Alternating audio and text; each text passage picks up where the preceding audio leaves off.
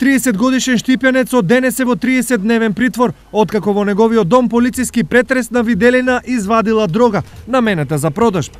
Во својот дом во Штип, неовластено заради продажба, држал наркотична дрога хероин со вкупна тежина од 27 грама, спакувана во рачно изработени најлонски кесиња.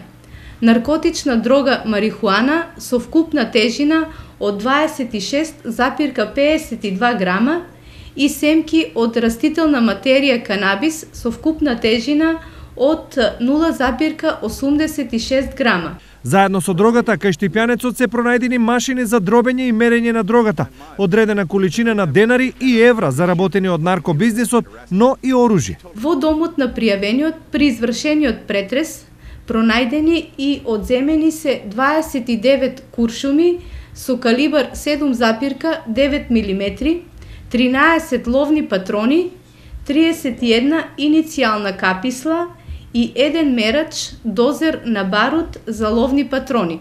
Поради ова, 30 годишниот од Штип од полицијата доби две кривични пријави за недозволено тргување со дрога и поседување на оружје. Освен во Штип, кривични за дрога, полицијата поднесе и на наркодилери од Радовиш и Свети Николе, а со дрога е фатен и затвореникот Кочени, пуштен на викенд.